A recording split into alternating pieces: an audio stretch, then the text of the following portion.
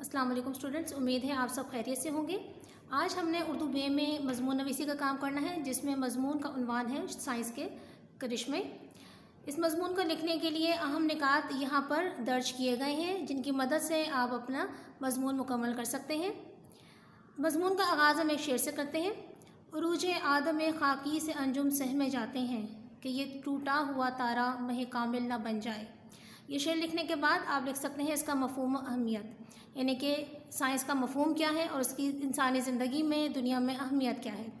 जैसे कि हम जानते हैं कि इंसान अशरफुलमखलूक़ात है, अल्लाह ताला ने उसे इल्म की नेमत से नवाजा है और उसी इल्म की बदौलत इंसान अपनी जहनी सलाहियतों में इजाफ़ा करता जा रहा है और तरक्की की मनाजिल तय करता जा रहा है।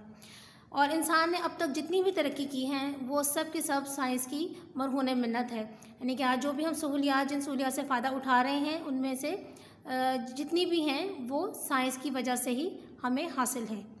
उसके बाद हम आते हैं साइंस की हैरत अंगेज़ ईजादात की तरफ़। इसमें आप थोड़ी सी तफसील दर्ज कर सकते हैं कि अल्लाह ताला ने इंसान को बेशबा दिमागी सलाहियतों से नवाजा है और हम जानते हैं कि जानवरों का इल्म महदूद है। उन्हें रोज़ अव्वल से जो सलाहियतें अदा कर दी गई हैं, उनमें किसी किस्म की जो है कमी बेशी नहीं हो सकती और वो उसी तयशुदा डगर पर चल रहे हैं।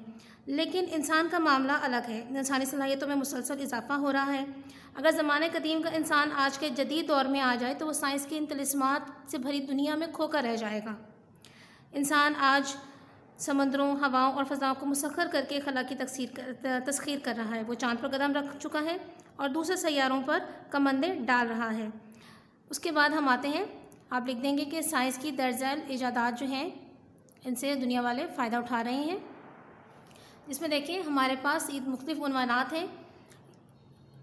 रेलगाड़ी, मोटर कार, बहरी जहाज़, हवाई जहाज़, एक्सरे, रेडियो और टेलीविज़न, टेलीफोन और वायरलेस, रेडार, बिजली, कंप्यूटर, इन तमाम का आप मुख्तर हाल जो है हेडिंग्स बना के छोटी छोटी आपने उसका तमाम अहवाल लिखना है।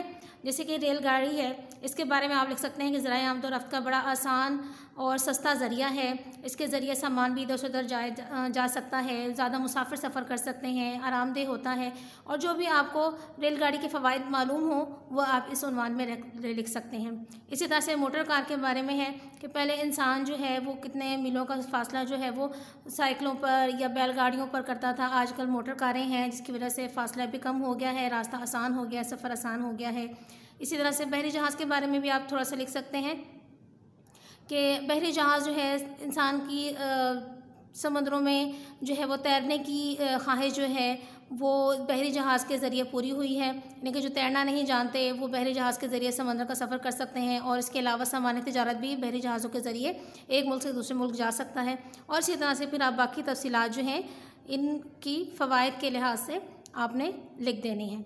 उसके बाद हमारे पास आखिरी जो हासिल कलाम होता है, जिस पर हम सबक अपने मजमून का अख्ताम करते हैं, वो साइंस का गलत इस्तेमाल है। यानी कि जो ऊपर ही ईजादात हैं, वो हमारे लिए फ़ायदा मंद तो हैं, लेकिन बाज़ ऐसी ईजादात या इन ऊपर वाली ईजादात का गलत इस्तेमाल, मनफी इस्तेमाल जो है, वो किस तरह से दुनिया को नुकसान पहुँचा रहा है, वो भी आप इसमें लिखेंगे, ताकि हमारा मजमून जो है, मुकम्मल तौर पर जो है फ़वाद नुकसान के साथ पूरा हो जाए।